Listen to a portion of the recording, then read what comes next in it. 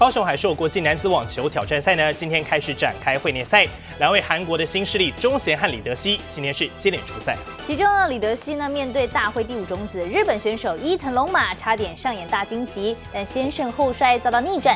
而今天唯一出赛的台湾选手黄亮琪，则是呃直落二淘汰。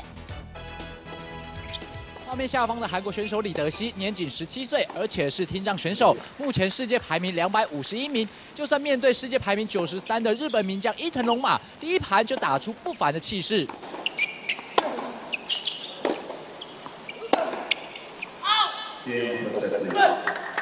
伊藤龙马依旧是老经验，进入到第二盘改变战术，死缠烂打。就算是被逼到了抢七赛末点，也能够扳回局势。最后李德熙气力放尽，六比四、六比七、三比六输球。虽然被淘汰，不过还是让伊藤龙马吓出一身冷汗。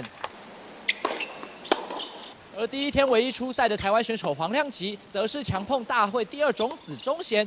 钟贤曾经在美网差一点让瓦瑞卡翻船，加上双方排名有段差距，虽然黄亮吉还是打出了自己的水准，但最后还是以直落二不敌钟贤，但也让所有球迷看到了台湾选手的平静。